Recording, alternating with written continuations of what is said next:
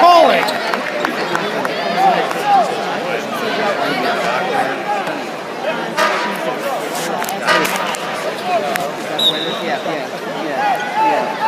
I got sent a picture to Randy telling me we made it courtside pretty much.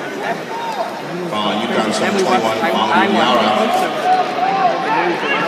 Second personal, team foul number five.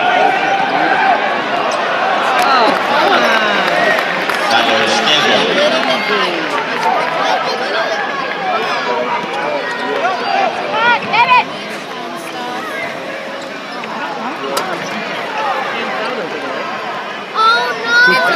Timeout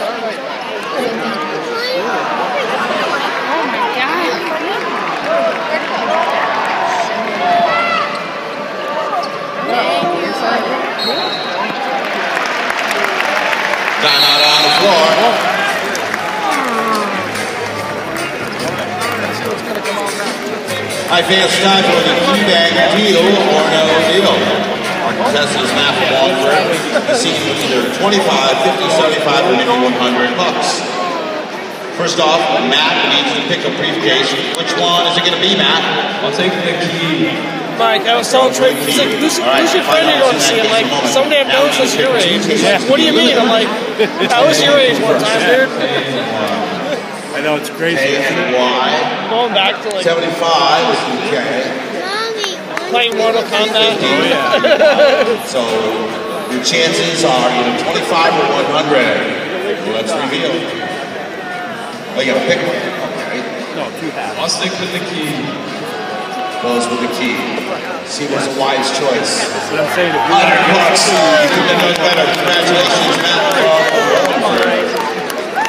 100 bucks. Key possibilities card from Keybank. Thanks for playing.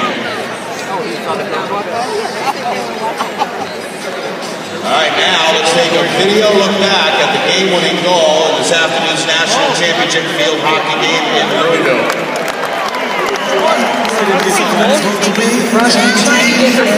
Here's Veitner with a shot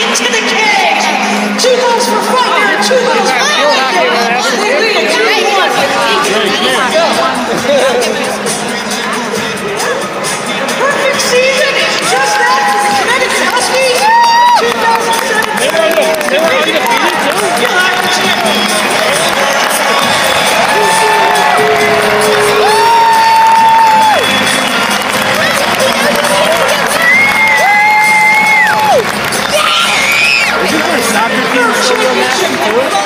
Isn't their soccer team still real nasty too? Nancy Stevens I don't squad care. 22 0 on the year. 22 and 0. I mean, Way to